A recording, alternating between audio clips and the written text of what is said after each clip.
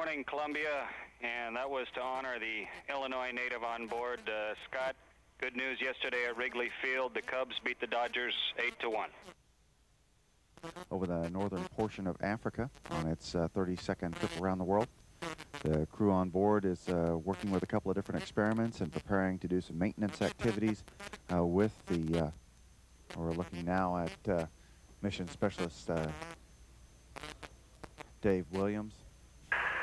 So hopefully the thrust of this research is twofold. Uh, not only to uh, enable astronauts to remain in space for longer durations of time off into the future as we prepare to go back to the moon and eventually onto Mars and beyond,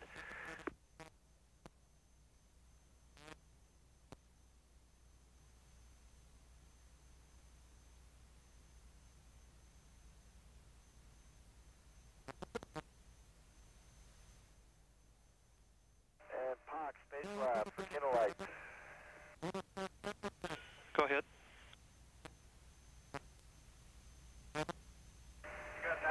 It looks like those procedures, we're very hopeful that in the long term, 5, 10, 15 years from now, there'll be clinical benefits back here on, back on the Earth uh, to people with uh, numerous uh, disorders or um, situations, medical situations that uh, are paralleled uh, by some of the things that happen to us up on orbit. Um, for example, many of the vestibular things that go on as we get to orbit and adapt to not having the gravity vector present in our vestibular system or our inner and middle ears um, are the types of things that happen in individuals down on the ground who uh, who have certain uh, illnesses.